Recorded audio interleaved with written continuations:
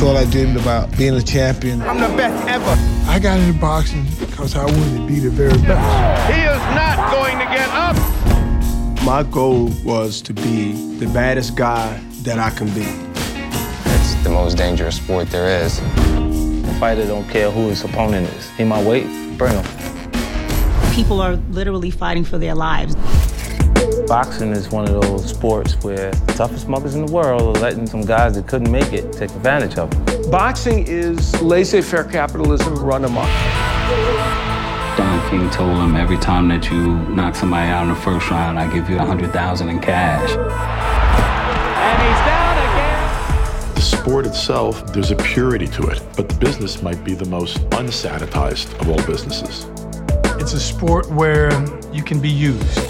How do you handle that? There's always this possibility of tremendous loss.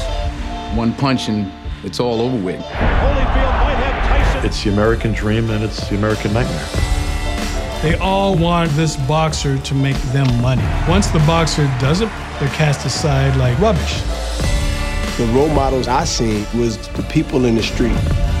You're looking at your environment and no one's helping you. Boxing's an escape from violence and poverty, but you're escaping through violence itself. Why is it every sport have some type of union and boxing don't? Anybody on this planet, you could beat them in a fair fight. Tell me how that'll feed your ego. All I want to do is not die. It's over. It's the ones that know how to lose, make yourself better, and come back. That's boxing.